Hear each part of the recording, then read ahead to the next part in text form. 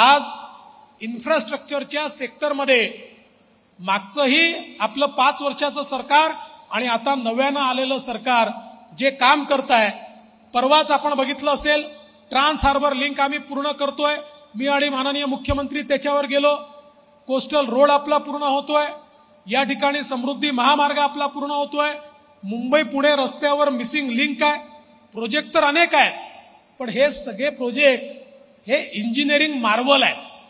जगाच्या पाठीवर लोकांनी जे प्रोजेक्ट पाहायला यावे अशा प्रकारचे जनरेशनल प्रोजेक्ट्स हे या महाराष्ट्रामध्ये आपण करतो आणि यामध्ये स्वतः माननीय मुख्यमंत्र्यांना प्रचंड रस असल्यामुळे आणि मला देखील त्याच्यामध्ये खूप इंटरेस्ट असल्यामुळे मला विश्वास आहे की आता पुढचे जे प्रकल्प आपण हातात घेतले आहे की ज्याच्यामध्ये नागपूर टू गोवा असा जो महामार्ग करायचा आहे दुसरीकडे मुंबई टू गोवा महामार्ग आपल्याला करायचा आहे. वेगवेगळ्या प्रकारचे पुणे रिंग रोड असेल मल्टीमॉडेल कॉरिडॉर असेल हे सगळे रस्ते आपण त्या ठिकाणी चांगल्या प्रकारचे तयार करू. आणि मी विश्वासाने सांगतो की नागपूर गोवा हा हायवे ज्यावेळेस आपण तयार करू मराठवाड्याचं चित्र बदललेलं असेल. मराठवाड्यामध्ये प्रचंड समृद्धी ही त्या एका हायवेच्या माध्यमातून आपण तयार करू शकणार आहोत.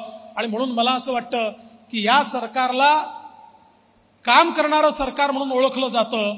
मुख्यमंत्री सातत्याने काम करतात सरकार सातत्याने काम करतं सगळे मंत्री काम करतात. आम्ही फायलींवर बसणारे लोक नाही आहोत आम्ही अडवणारे लोक नाही आहोत.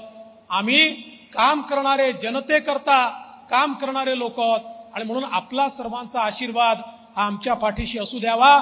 आणि महाराष्ट्र बदलून या महाराष्ट्राला प्रगतीकडे नेत महाराष्ट्राच्या सामान्य माणसाला दीन दलित गोरगरीब शेतकरी आदिवासी शेतमजूर ओबीसी महिला सगळ्यांना या ठिकाणी त्यांच्या जीवनात परिवर्तन घडवण्याचं काम हे आपलं सरकार निश्चितपणे करेल हा विश्वास मी व्यक्त करतो.